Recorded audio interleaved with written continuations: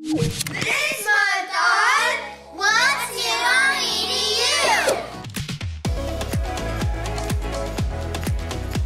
And three, two. Hi, welcome to What's New in EDU, a hub where we give you all the new updates coming from Microsoft Education. I'm Frank Chaponi. Let's start with a recent event Microsoft held in New York focused on education. We made several exciting announcements there, all geared towards helping you, educators, administrators, and students. We talked a lot about an affordable and accessible learning platform, modern tools for a collaborative classroom, and experiences that spark creativity. Today's event is about education and technology. More specifically, it is about empowering the students of today to create the world of tomorrow. One of the bigger announcements in New York was education experiences coming for Microsoft Teams. Ari, are you ready to talk to us about Teams? Absolutely, Frank. More and more every day we work in teams across the world.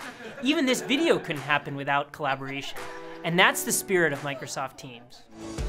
Microsoft Teams is the hub for teachers, students, and staff in Office 365 for Education. Teachers can connect with their peers and continue their own development in professional learning communities, or PLCs. Here is a PLC team with conversations, including instant meetings and threaded conversations, PLC OneNote Notebook, and a Power BI app for analytics on our students. It also includes whatever you need to share content and conversations with this group, like adding video discussions with Flipgrid.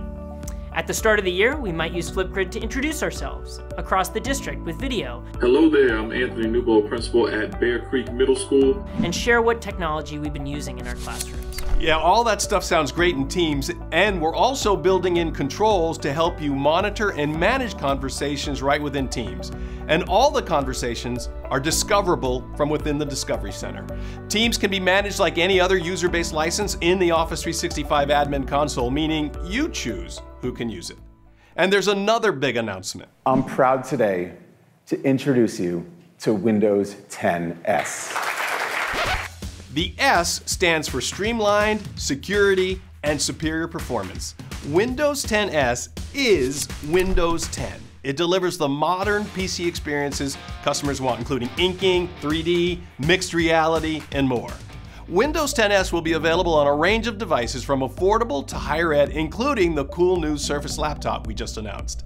Windows 10S devices will run apps only from the Microsoft Store for Education. So as an admin, you know the apps are safe and secure and won't put a drag on performance ever. And there are some great new apps coming to Microsoft Store for Education on these devices, like Paint 3D and Minecraft Education Edition, now with Code Builder. So here, the agent's gone to work running code, digging down and identifying the resources that are underground. We know it's engaging, we know it's working, and we know it's reaching both boys and girls. Yeah, those are some great apps, Ari, but as IT, you want to be able to deploy and manage them all, and you can with Intune for Education, which we just announced is now generally available worldwide.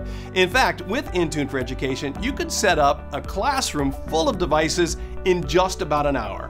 You can manage all your Windows 10 devices with Intune for Education, set up classes and groups pulled straight from your SIS with School Data Sync, curate apps from the Microsoft Store for Education, and then configure all those devices with just a USB stick using the Setup School PC app. And just like that, you're done. Finally, the next big event for us here at Microsoft Education is ISTE 2017 in San Antonio, Texas. We have a great opportunity this year to invite all the global educators to participate with our Hack the Classroom live event taking place on the evening of June 27th during ISTE. Also at ISTE, we'll have some great sessions to help IT and technology advocates get ready for their summer deployments. And even if you can't attend, don't worry, we'll have all the deployment resources available for you.